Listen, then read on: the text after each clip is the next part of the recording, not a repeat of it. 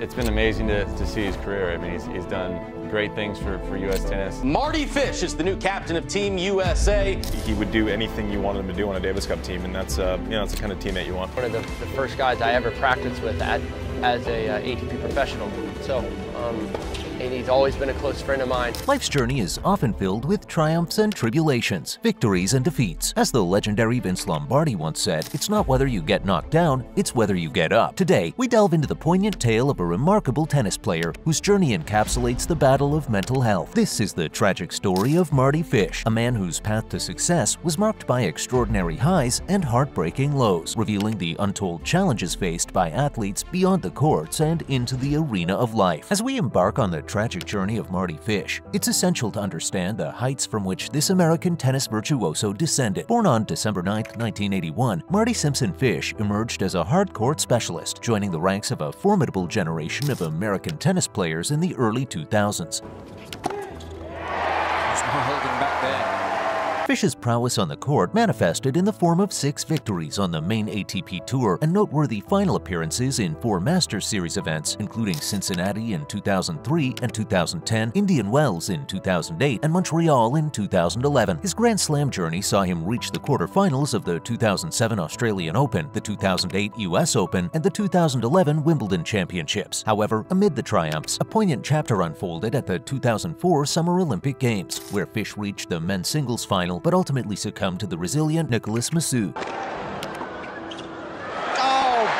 Massu. coverage. April 2011 marked a pivotal moment for Fish as he surpassed compatriot Andy Roddick, seizing the title of American number one in the ATP rankings. Climbing to a career-high singles ranking of world number seven in August 2011, Fish etched his name into the chronicles of tennis history. His journey reached its pinnacle after he qualified for the year-end tournament, a singular achievement in his illustrious career. I know I realize this is my last event. Um... However, like any compelling narrative, the tale of Mardy Fish took an unexpected turn, retiring after the 2015 U.S. Open, he bid farewell to the sport that had defined him. I've never been around anyone who had any serious mental health issues. Mental health doesn't care what your name is or what you do for a living. Everyone is in their own bubble with stresses, pressures, and expectations on themselves, no matter what job title they have. Mine just happened to involve playing in front of a lot of people, but my issues would be no different from any other person's, Fish said. Tons of sacrifices, basically a, a complete lifestyle change. Fish's ascent to greatness was marked by a stark realization. He hadn't worked as diligently as some of his peers. In 2010, fueled by a newfound commitment to change, he overhauled his diet, routine, and training regimen. The hard work paid off, catapulting him to new heights. By 2011, he had qualified for the prestigious ATP World Tour Finals, and in 2012, he reached a career-high ranking of 7th in the world. Stadio Pietrangeli, 11th seed Mardy Fish met Colombian Santiago Giraldo. Yet, just before the 2012 U.S. Open, where Fish's career was poised to reach its zenith, adversity struck. A heart condition, cardiac arrhythmia requiring surgery, surfaced in March of that year, a condition that sent shockwaves through his professional career. Despite this setback and the health condition, Fish continued to compete until the U.S. Open in September. It was during a third-round match against Gilles Simon that a more insidious opponent emerged, a severe anxiety disorder that gripped Fish with an unrelenting force. The once unshakable athlete found himself ensnared by a condition that transcended the boundaries of the tennis court, rendering him unable to leave his own home at times. I would highly advise them to get educated on mental health. The ensuing years saw Fish grappling with the intersection of physical and mental challenges. His heart condition and anxiety disorder forced him to confront vulnerabilities that extended far beyond the tennis court. Reflecting on the evolution of his expectations, both externally and internally, Fish recognizes that his dissatisfaction with the status quo became a double-edged sword. The pursuit of greatness, once a driving force, transformed into a stress-inducing and ultimately destructive journey when his ranking was reduced to 7th in the world. I was diagnosed with severe anxiety disorder actually at this tournament. A pivotal moment in Fish's struggle emerged with heart arrhythmias, a physical condition that set the stage for a haunting mental trauma. The anxiety attacks, initially off-court, began to infiltrate every aspect of his life. Sleep became elusive and the solitude he once cherished turned into a need for constant company. The attacks intensified, rendering him consumed by exhausting and confusing dread. About mental health, about, you know, sort of why I was away from the game for a couple years. Ironically, his on-court performance remained remained intact, masking the internal turmoil that was unfolding. It was only a matter of time before the anxiety manifested during a crucial match at the 2012 US Open, shattering the illusion of control Fish had maintained. If you're enjoying this video, kindly click on the like button and subscribe for more tennis-related content. I had a case of severe anxiety disorder. Episode of the acclaimed Netflix docuseries Untold delves into the untold story of Mardy Fish's battle with mental health and anxiety, appropriately titled Breaking Point. Fish, a former American tennis star,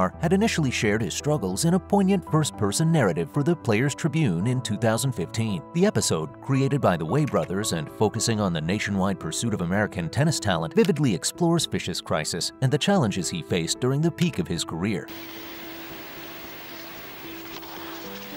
The narrative provides a close look at Fish's early days, portraying him as a childhood friend and rival to Andy Roddick. Despite Fish's silver medal at the 2004 Athens Olympics, his career remained in the shadow of Roddick, the de facto standard bearer for American tennis. However, in the early 2010s, Fish underwent a transformation in his training and nutrition, aiming for a push towards the top echelon of tennis. And I'll feel like that going into uh, every one of my matches.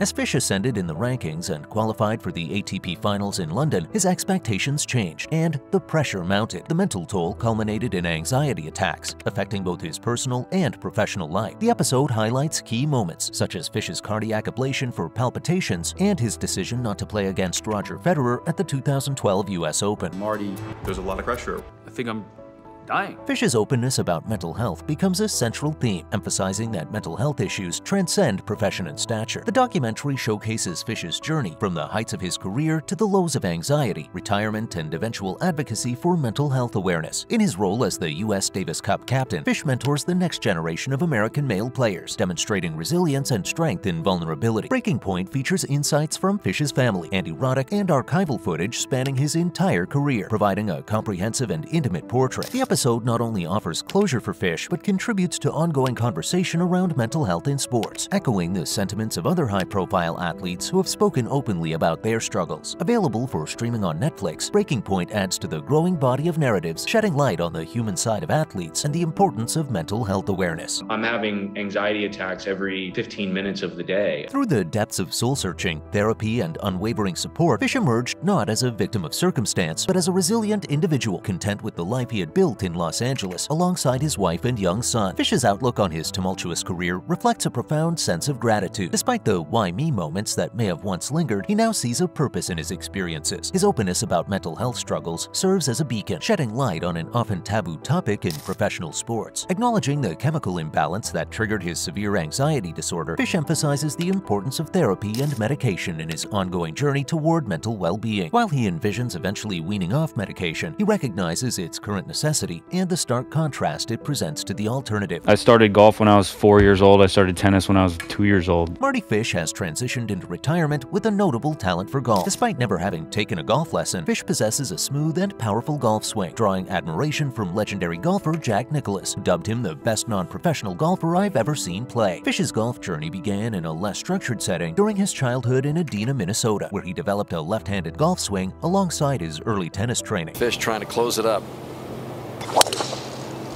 Fish initially played junior golf before focusing on tennis, a decision that proved successful as he reached the pinnacle of the tennis world, reaching number 7 in the ATP rankings. However, after the challenges faced due to cardiac arrhythmia and a severe anxiety disorder, leading to a late career renaissance and subsequent retirement. In retirement, Fish has embraced golf as a positive outlet, participating in celebrity golf events and enjoying recreational play with his family. He describes golf as a positive stress in his life, offering a contrast to the physical demands of professional tennis. Despite playing minimally, Fish has made a significant impact on the celebrity golf scene, winning multiple events, including the American Century Championship in 2020. Mardy Fish is the new captain of Team USA. Fish, who serves as the captain for the U.S. Davis Cup team, shares a dream with many golfers, playing on the senior tour. While acknowledging the need for years of training to reach that level, he remains determined and recognizes the effort required to achieve such a goal. It takes its toll mentally, and he was able to stay pretty strong, just top 10 towards the end of his career. At 40 years old, Mardy Fish continues to showcase his athletic prowess, this time on the golf course, adding another dimension to his post-tennis career. Looking ahead, Fish aims to use his experiences to help others facing similar challenges. With plans to work with U.S. juniors and a desire to be a vocal advocate for mental health awareness, he's forging a path beyond the confines of the tennis court. As he hangs up his rackets, Fish leaves behind a legacy of achievements, each marked by the resilience and introspection that defined his remarkable journey. From the heights of Olympic success to the depths of mental health battles, Mardy Fish's story transcends the boundaries of sports, becoming a narrative of triumph over adversity and a beacon of hope for those navigating their own struggles. As we conclude this poignant journey through the life of Mardy Fish, we are reminded that behind the dazzling victories and crushing defeats lies a human story of perseverance. From the pinnacle of success to the depths of personal struggle, Mardy's tale resonates with us all. If you found this exploration into the triumphs and tribulations of a remarkable athlete compelling, don't forget to hit the like button to show your support. Now it's time to hear from you. In the comments below, share your thoughts on Mardy Fish's journey. Was it an